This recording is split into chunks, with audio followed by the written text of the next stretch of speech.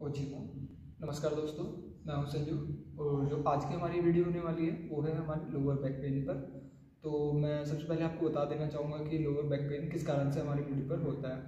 तो जैसे कि हमारा अत्यधिक वज़न का उठा लेना, या फिर हमारा एक ही स्थिति में काफ़ी देर तक बैठे रहना गलत तरीके से, या फिर हमारा गलत तरीके से सोना, जिसमें हम कंफर्टेबल नहीं हैं, उन्हीं को सभी को देखते हुए मैं आज आपको कुछ आसन के बारे में बताने वाला हूँ। जिनकी रेगुलर प्रैक्टिस करने से आपको लोअर बैक पेन से छुटकारा मिल सकता है। तो कौन से वो आसन? चलिए वीडियो को शुरू करते हैं। हमारा पहला आसन है वक्रासन।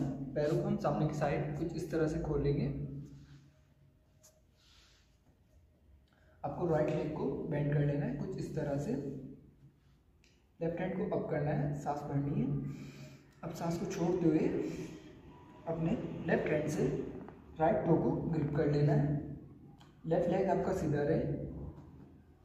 यहाँ से कमर को मोड़ना है आपको, पीछे की ओर देखना है। जितना स्पाइन को ट्विस्ट कर सकते हैं, इस आसन को आपको 15 से 20 सेकंड करना है। दोनों साइड करना है लेफ़्ट और राइट दो दो बार।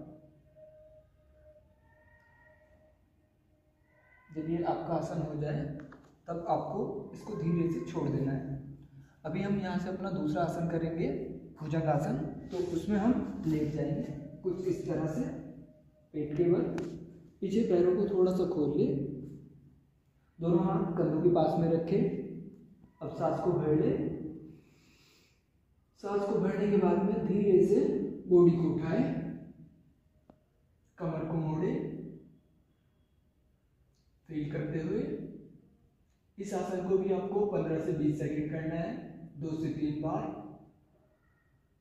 जब आपकी सांस छूटने लग जाए, तब धीरे धीरे वापस नीचे आ जाए।